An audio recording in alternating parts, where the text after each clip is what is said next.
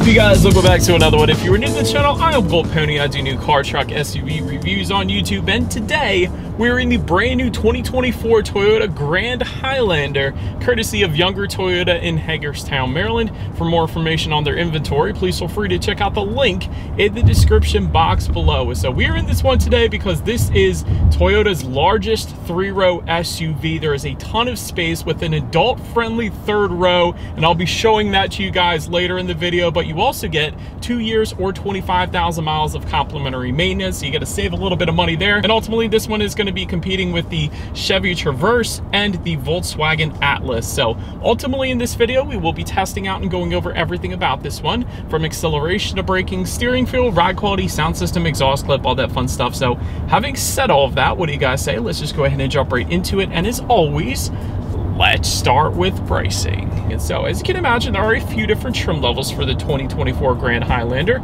First one being the XLE starting at $43,070. Then there is the Limited, which is the one we are in today, starting at $47,860. And lastly, the Platinum going for $53,545. And so that Platinum trim level comes standard with all-wheel drive.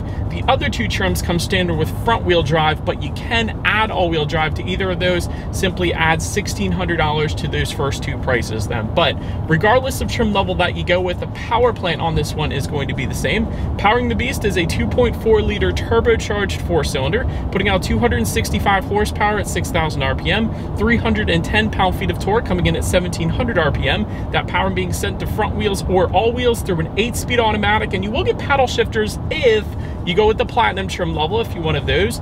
Zero to 60 time coming in at approximately seven seconds flat, which on paper isn't all that bad for the size of this SUV. MPG numbers then coming in at 21 in the city, 28 on the highway for the front wheel drive, 20 in the city, 26 then on the highway for the all wheel drive taking regular unleaded fuel. So before we do any kind of fun acceleration test here in our Grand Highlander, did want to mention to you guys the drive modes. There's some buttons located kind of behind the cup holders and the shifter and all that.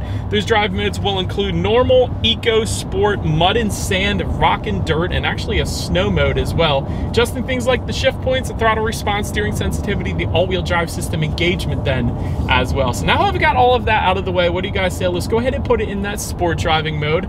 Let's uh, let's find a straightaway and let's see how quickly we can get our new Grand Highlander here up to speed. All right, in three, two, one, go. There it is. Cool, shift's nice. I will say that.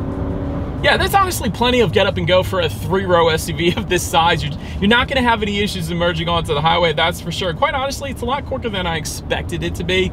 Again, given the size of this SUV. So yeah, you're not going to have any issues with that. But anyways, to go along with that acceleration, as always, braking is equally important. So up front, you will find 13.3 inch ventilated front discs. In the back, 13.3 inch ventilated rear discs as well. As far as that 60 0 stopping distance goes, that comes in at a respectable 127 feet. Now, I say it that way because typically with larger three row SUVs, they're usually in the 130s. 127, it's not the best number, but it's honestly the better number if you're comparing it to some of the competition. So I'll just put it that way. As far as braking feel goes, it's fine. It's definitely on the softer side of things, no doubt about that. So expect that. You're not going to have a firm braking feel in a vehicle like the Grand Highlander anyways. But then touching on suspension and handling, up front you're gonna get an independent strut type front suspension.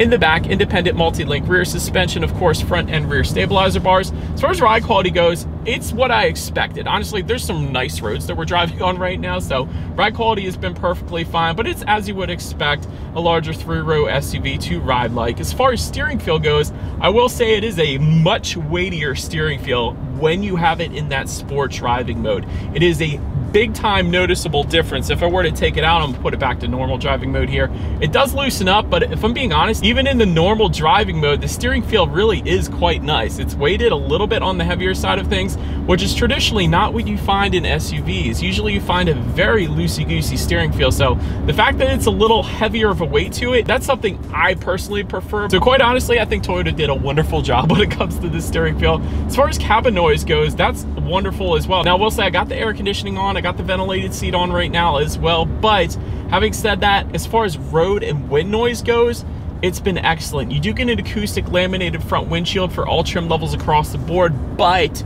you also get acoustic laminated front side glass that's something where a lot of luxury vehicles don't even have that still to this day. A lot of times it's an option on some of the other competition, but to have acoustic laminated front door glass, that is definitely a big win and it makes for a very serene cabin in the Grand Highlander. So I will say that. Love that Toyota did that.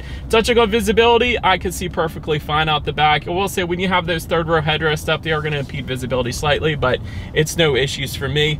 Rain sensing windshield wipers do come standard on the limited and platinum trim levels. So if the Grand Highlander detects any kind of mist or rainfall, it's gonna automatically turn on those windshield wipers for you. So I love that as well. And you will actually get a head-up display with the platinum trim level. So that's gonna display your speed, speed limit, and safety features up onto your windshield, better helping with forward visibility. So you can better focus on actually enjoying the drive in the Grand Highlander. But that pretty much rounds out the performance segment of this review, guys. Let's now go ahead and take a look at the exterior of our brand new 2024 Toyota Grand Highlander.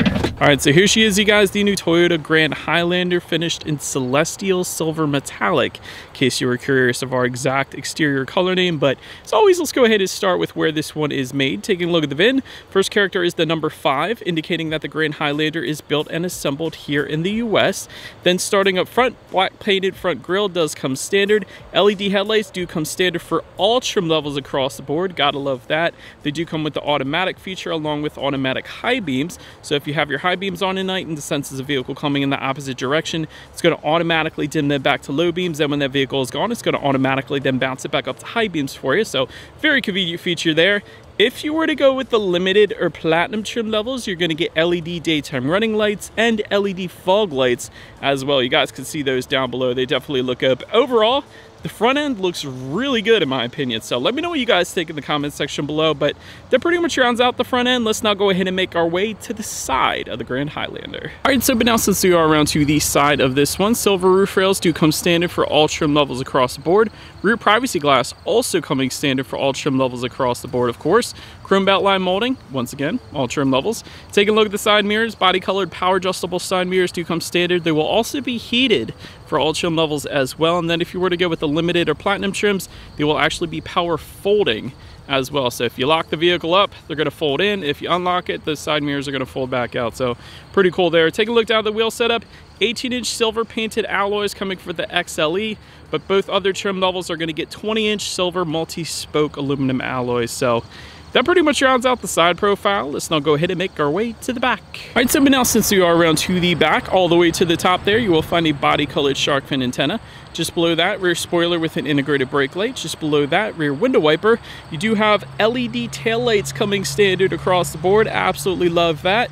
Got some uh, like the video lettering spelled out horizontally. That definitely helps. So go ahead and like the video. It definitely helps me out. I appreciate it greatly. But in all seriousness, Grand Highlander lettering spelled out horizontally. Got the all-wheel drive badging. If equipped, there is a tow package, of course, available. You guys can see that setup down below there. And then all the way down below as I get down here for you guys, you will find dual exhaust outlets. They are tucked away. So having said that, I do believe you guys know what we have to do next. As always, here is that exhaust clip.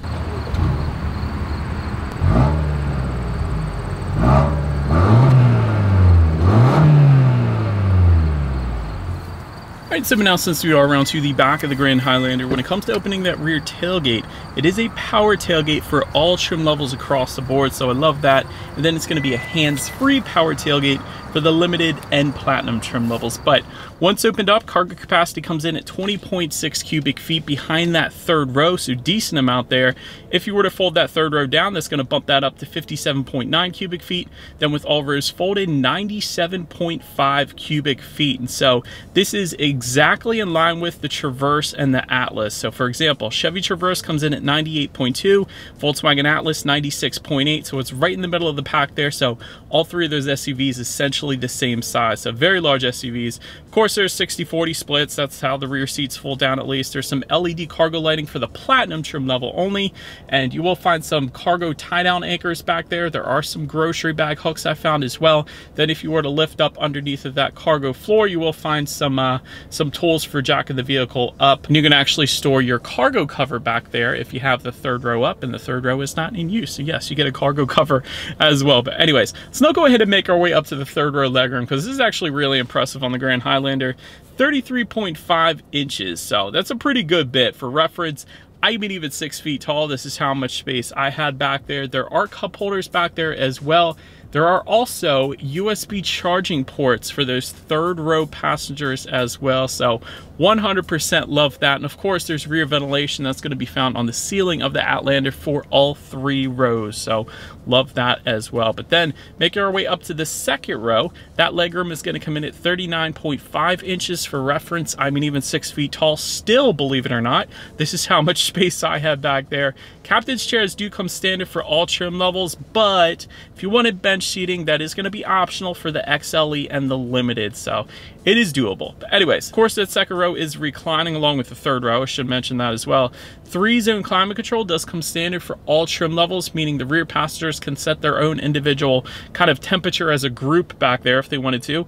Rear window sunshade surprisingly comes standard on all trim levels across the board. I don't believe the competition makes that standard, so that's pretty cool, especially if you have a newborn and you don't want the sun blinding them if you're uh, coming home from the hospital, you're sitting in a parking lot eating Chick-fil-A or whatever the case. Of course, there is a rear center armrest with cup holders as expected and heated rear seats are available and we got them as well. So that is pretty darn cool. And of course, you got the USB charging ports for those second row passengers. So love the heated rear seats, love the rear window sunshades, love the charging ports. So the second row is definitely set up quite nicely back there. But now let's go ahead and make our way to the front seats. Leatherette seating is going to come with the XLE, but limited and platinum trims are going to give you full leather seating, 10-way power driver seat with power lumbar for all trim levels, but even the passenger seat gets power adjustable seats. 8-way power adjustable passenger seat for all trim levels, heated front seats, all trim levels yet again, but the ventilated front seats, you get that with the limited and the platinum, so not the XLE there. Memory settings yet again with the limited and the platinum, and that's for up to two different drivers in case you were curious, but overall, seat cover was actually perfectly fine. Toyota usually does a pretty darn good job with their seating and uh, seat comfort overall, and that is definitely the case here in the Grand Highlander, so not going to have any issues taking this thing on a long road trip. But now, let's take a look at the steering wheel. It is tilt and telescoping. It is going to be leather wrapped for the limited and platinum trim levels, and then heated, actually, for the limited and platinum trim levels as well. 10 and 2 grips are kind of on the scrawny side, so I wouldn't have minded if they beefed them up just slightly, but other than that, steering wheel is perfectly fine.